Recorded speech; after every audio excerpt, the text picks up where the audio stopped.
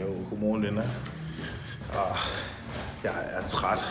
Jeg har næsten lige stået op, og jeg har lige lavet mig en øh, uh, intra-workout shake. Og uh, jeg skal faktisk på vej til morgentræning, til rygtræning. Jeg skal nemlig en hel masse i dag. Jeg har travlt, så det bliver en hurtig træning på en time. Uh, lidt ryg, nogle supersæt, og så skal vi videre på programmet, fordi jeg skal ud og rejse igen i dag. Jeg har kun lige været hjemme to uger, så er der afsted igen. Men jeg siger ikke hvor, det må I følge med i videoen for at se. Nu er der afsted ud til Værndersvej og så op til Vester Bronx. Vi kører en uh, hurtig rygtræning. Så følg med venner, det her bliver en sindssygt awesome dag. Ja! Yeah. Kom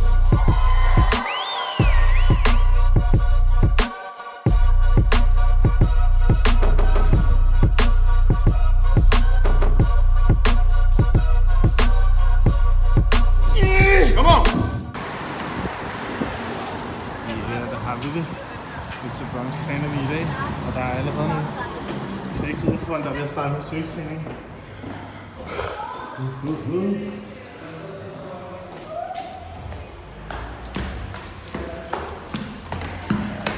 Dobbelt trin, dobbelt trin. Sådan der. Dobbelt trin, dobbelt trin, dobbelt trin, dobbelt trin.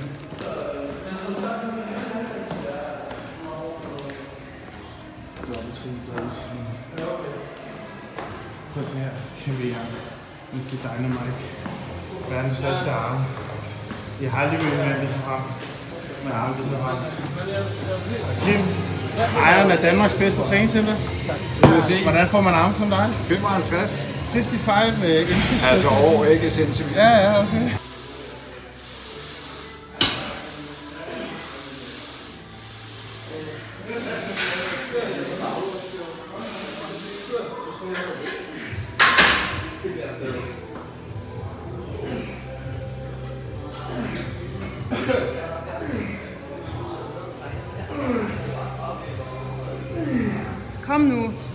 you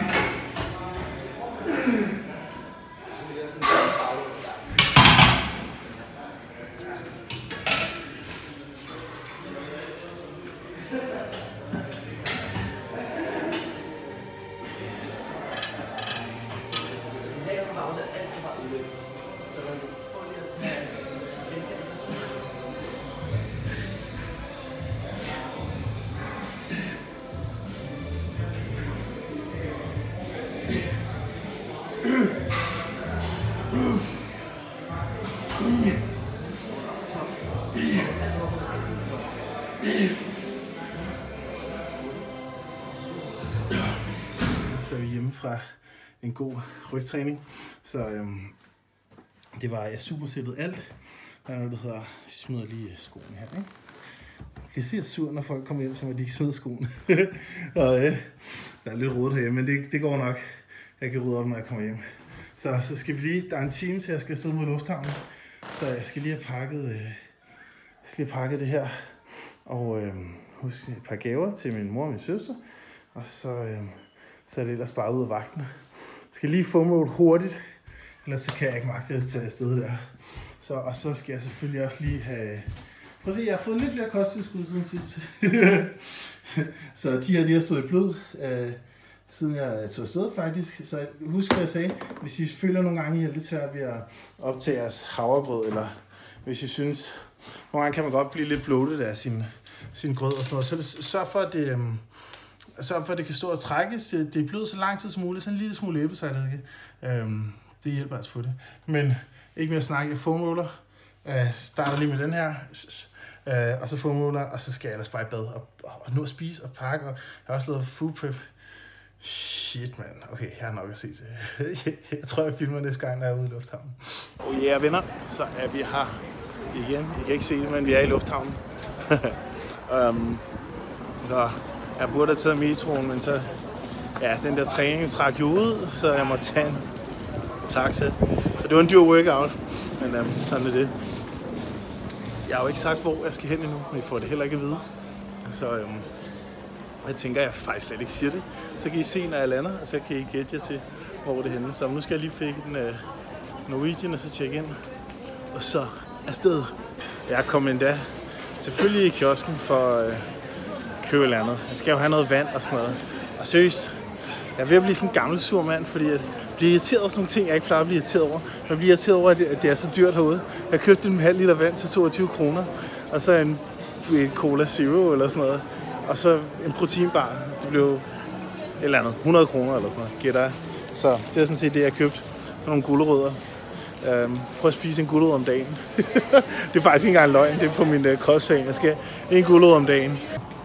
Og I ved stadigvæk ikke, hvor jeg er henne. Og nu får I lige lov til at se ankomsthallen, så kan det være, at I kan gætte det. Og det er lige derovre, af landet. Det er mega flot her. Så fortæl mig, skriv ned i kommentarfeltet, hvis I har gættet det allerede nu. Altså ellers så kommer der nok lidt flere hints senere. Det er nok ikke så svært at gætte længere. Så vi er ankommet til hytten, hvor du er med i dagens vlog. Og du har, øh, du har, øh, jeg kan se, at du har øh, dækket op derude. Skal vi spise udenfor? kommer Lady med din sko. Og Lady er her også for at sige Ja, og jeg velkommen. har gulerødder, jeg har øh, Nej, du har købt en ris og kylling til Sankt Hans aften. Ja, Tak. Okay, så er vi oppe i... øh, Okay, nu, har jeg, nu kan jeg godt afsløre den store afsløring. Vi er i, øhm, vi er i en lille by, der hedder... Oh, fuck! Der er en stor bil. vi er lille by, hedder Aalbæk, det, som er i Nordjylland, øh, hvor at, øh, mine forældre de har en, en lille hytte. Vi har faktisk øh, på et tidspunkt, der, bo, der har vi boet heroppe, øh, fordi da mine forældre de, øh, øh, kom fra Canada til Danmark, så havde de ingen penge og ingen sted at bo, og så havde de det her lille bitte sommerhus, som vi boede i, øh, hvor min søster hun gik i øh, skole her. Det var inden jeg gik i, øh, det var inden jeg gik i skole og sådan noget, så... øhm, så, men nu kan I se det. Jeg, jeg glæder mig til at komme herop. Det er et mega hyggeligt sted. Og øhm, der er et godt træningscenter i nærheden. Ah, okay, ikke i nærheden i Aalborg. Ja, venner. Nu fik jeg slet ikke filmet noget af al den gode mad, vi fik. Øhm, hold kæft, det var lækkert. Så øh, nu er vi... Øh, Anne-Sophie, hun er lige med i vloggen her. Ja. Så, øh, men der var i hvert fald også god vin til middagen, så vi kan se, hvad han spiste. Så øh, uh, hvad fik vi? Vi fik gode steaks, og vi fik... Uh, krabsehaler til forret, alt muligt lækker.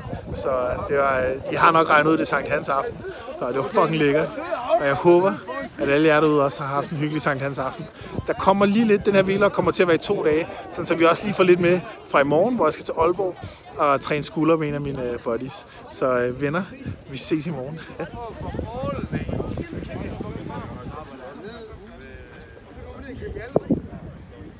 Godmorgen venner. Så er det day 2 af min lille vlog her. Så det var fandme en hyggelig Sankt Hans aften i går. Jeg håber også, at I alle sammen har lavet noget hyggeligt til Sankt Hans. Ja, det er sådan, jeg går ikke særlig meget op i højtid, men det er sådan en af de... Øhm, det er sådan en af de højtider, jeg synes, der er hyggeligt at fejre. Den er sådan Halloween, tror jeg. og så jul. Det er min top 3. Så uh, anyways, jeg har lige fået lidt morgenkardio her. Sådan en hyggelig, uh, hyggelig lille tur, vi har heroppe i sommerhuset, lige kan gå en rundtur. Det er så godt vejr. Det er mega lækkert, mand.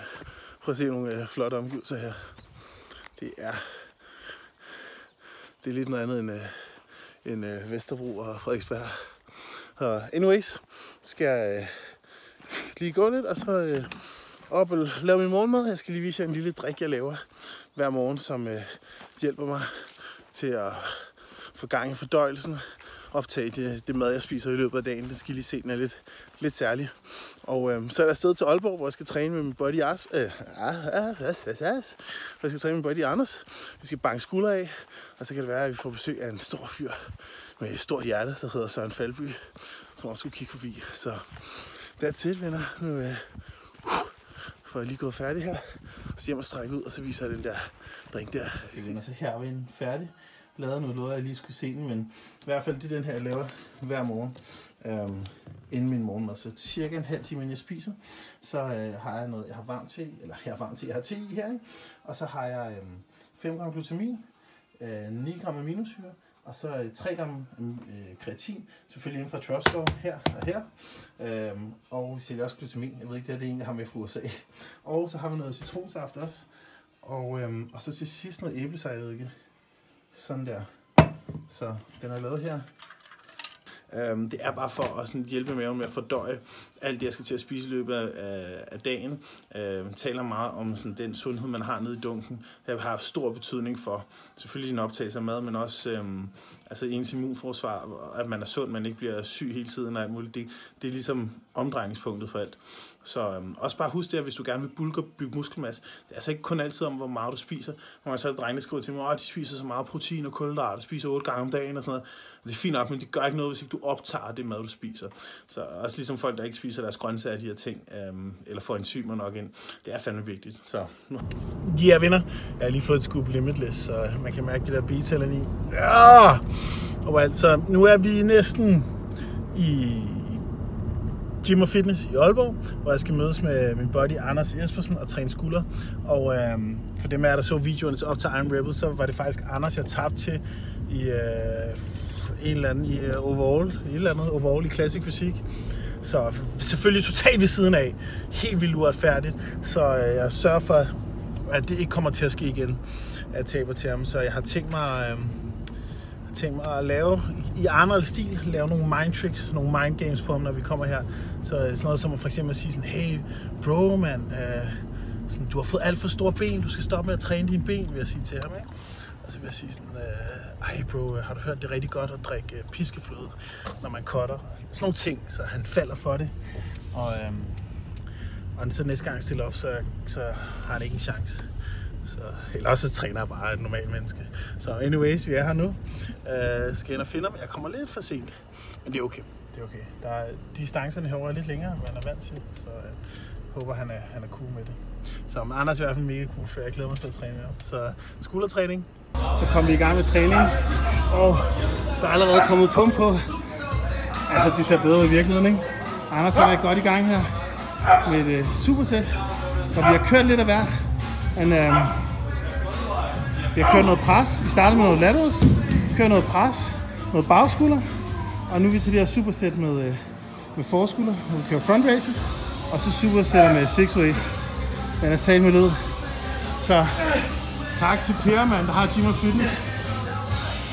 Hvis I kommer til Aalborg, venner, så husk for guds skyld at, øh, og, og kigge forbi Gym Fitness. Det er det fedeste center. Det er virkelig, virkelig awesome. Så husk at kigge forbi det, og så, øh, og så tage fat i Per. Jeg nok kommer tilbage fra en mega fed skuldertræning. Det var sjovt, fordi Anders jeg træner med. Han første, jeg har mødt, der øhm, er lige så vild med at træne lang tid ad gangen, som jeg er. Jeg elsker at træne lang tid ad gangen. Jeg kan altid sige sådan, og jeg kører lige også lidt læg, jeg kører også lige lidt arme, jeg kan altid træne triceps og sådan noget. Og det gjorde jeg i dag. Jeg havde sådan en forberedelse på, at jeg skulle nok lige træne arme alene bagefter, eller læg, efter Anders er gået.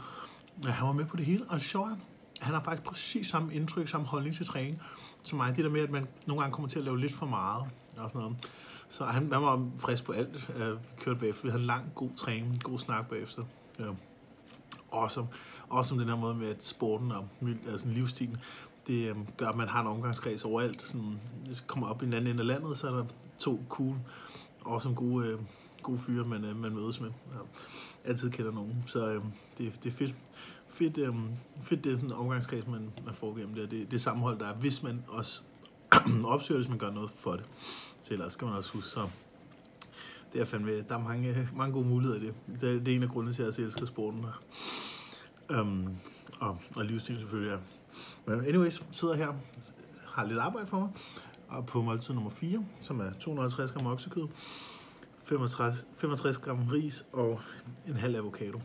Den er en masse grønt til. Men det fik mig lige til at tænke, Øhm, jeg er jo på ny kostplan igen igen, og den bliver hele tiden ændret lidt, men hvis jeg har lyst til at se sådan en full day of eating, så skriv lige ned i kommentarfeltet, hvis det er noget, jeg synes kunne sjovt at se. Full day of eating, fokus på min kost, og de kosttilskud, jeg tager, hvor jeg får forklaret hvert måltid. Det måske var meget sjovt. Så that's it.